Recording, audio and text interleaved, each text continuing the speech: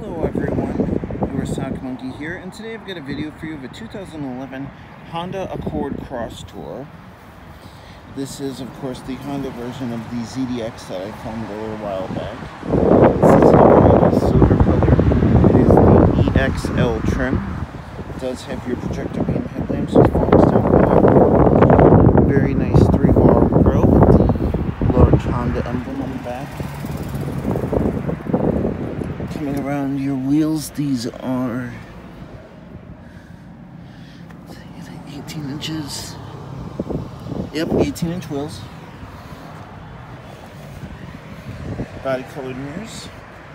It's a EXL as you can see. You do have a sunroof top. And you do have um, standard 8th gen uh, Accord stuff in here with um, your standard uh, audio screen and does have the five speed automatic, four or five speed automatic with the uh, J35 three and a half liter V6 engine.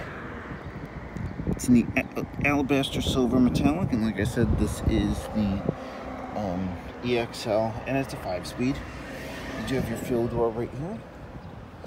And uh, coming around to the back, you do have your hatch.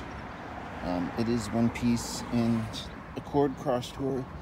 I think after 2012, they just simply went to it being called the Crosstour. You do have a clear third brake light here. Honda badge.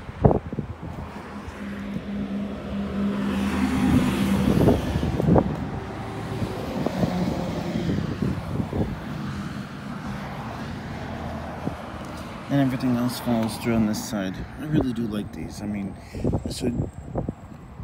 And uh, these did come in all-wheel drive. I mean, this is a front wheel, but this did these did come in full. These did come in all-wheel drive. So very, very nice. And uh, thank you all for watching.